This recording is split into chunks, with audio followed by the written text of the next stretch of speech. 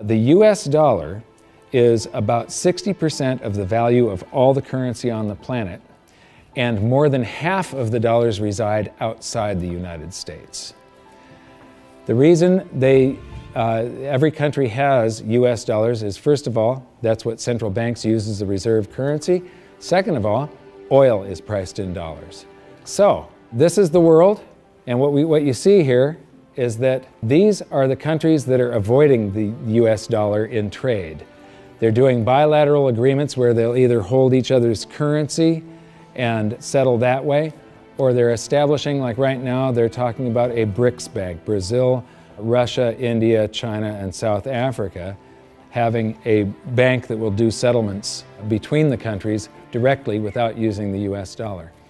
These countries, they tried to avoid using the US dollar like Iran tried, and we banned them from using SWIFT.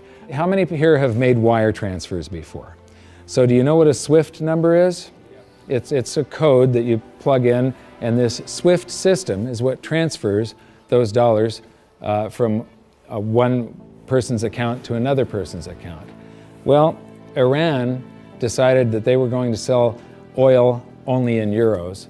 Uh, they got banned from SWIFT. But there's countries right now coming up with a replacement for SWIFT. And it doesn't use the dollar, it's the SUCRE system. And Iraq started selling oil for euros. Uh, in Libya, they were talking about creating the gold dinar and, and selling oil for gold. So those are the countries that are trying to use something other than the dollar. And then you've got physical gold accumulation. I'll show you later that China is accumulating an immense amount of gold, but all the countries with an up arrow, that's gold accumulation. Then we have gold repatriation. Germany has been asking for their gold back and they're getting it. Uh, Venezuela has repatriated their gold from the Bank of England. And then if we put this on a timeline, here's the nails in the coffin for the dollar standard. This is my evidence that I think is proof that the death of the dollar is coming and it's coming shortly. Nixon ended Bretton Woods and we went on the dollar standard. Then the first nail in the coffin is Iraq sells oil in euros. The crisis of 2008 and we added 1.25 trillion to our base money in the United States. As we add to the base currency, people get worried about inflation, they start rushing toward gold and silver. Iran ends oil sales in dollars and they're taking commodities in trade for oil. They're taking, uh, in Turkey, they take the local currency and then buy gold in Turkey and export the gold to Iran. So they're basically selling oil for gold. They do the same thing with India. QE2, quantitative easing, that's uh, more currency printing in the United States. Libya, China and Russia bypassed the dollar. They did a bilateral trade agreement where they uh, hold each other's currency and they do direct debt settlement without having to wire transfer US dollars. Chinese president just recently said that the uh, dollar as the world's reserve currency is a product of the past. Utah recognized silver and gold as money. China and Iran bypassed the US dollar with a bilateral trade agreement. Venezuela repatriates its gold. China and Japan trade directly. India and Japan bypass the US dollar. Russia and Iran trade directly. Iran sells India oil for rupees and commodities. China and Brazil trade directly. Swiss citizens demand gold repatriation. African countries ban the dollar. In Zambia, you can go to jail if you use US dollars. Uh, quantitative easing number three they have announced at the Federal Reserve that they're going to be, they're starting with $40 billion of currency that they're creating each month, and now it jumps to $85 billion. That's more than 1 trillion a year. And remember, it took 200 years to go from no dollars to 825 billion, and now they're going to create a trillion every year. Iran trading energy for gold. Singapore removes tax on money. Germany repatriates 150 tons of gold from the New York Fed. The citizens of Netherlands demand gold repatriation. Ecuador repatriates part of its gold reserves.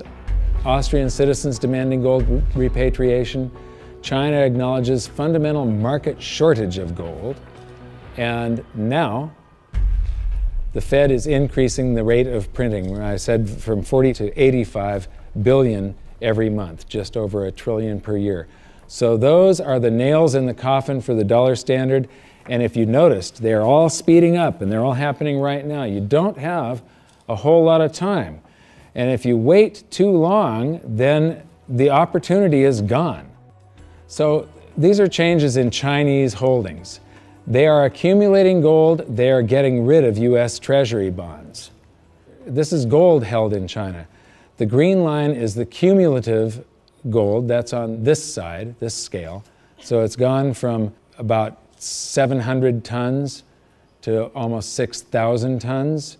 And the past couple of years here, they have ramped up their buying.